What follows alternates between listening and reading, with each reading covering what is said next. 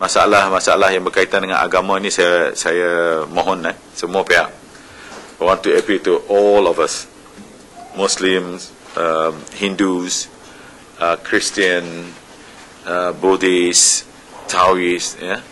Um, I want to appeal uh, to all of us um, not to to play uh, along the the uh, religious sentiment uh, uh, to uh, to gain our our our political uh, popularity because uh, it doesn't bring any uh, any good to our society.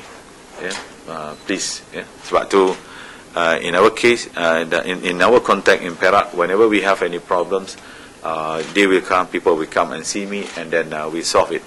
Ya, bila dalam konteks negeri Perak kita apabila ada sebarang uh, masalah ataupun salah faham uh, yang melibatkan uh, soal-soal uh, amalan uh, agama ataupun kedudukan uh, kedudukan tempat-tempat ibadat. Biasanya uh, semua mereka akan datang jumpa saya ya. Dan uh, dan kebiasaannya uh, selama ini uh, tak ada satu masalah yang tidak dapat kita selesaikan. Biasanya kita dapat selesaikan uh, secara bandaraya ya MBI MBI ada hantar surat sebab dia orang minta untuk nak buat nak buat apa bangunan empat tingkat. Bila empat tingkat MBI pun beri syarat-syarat ini mungkin ada salah satu yang MBI kata uh, uh, tokong bukan not not the the big tokong yang dia kata oh apa 102 tahun eh.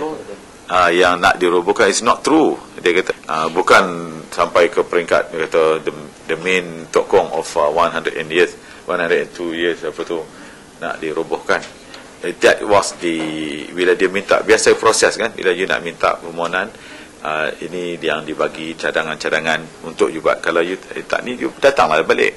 Itu saja. Dan tapi yang di yang dihantar SMS itu ialah uh, MMBI mengarahkan ya untuk merobohkan I think is is very very uh, irresponsible. Uh, don't play that one.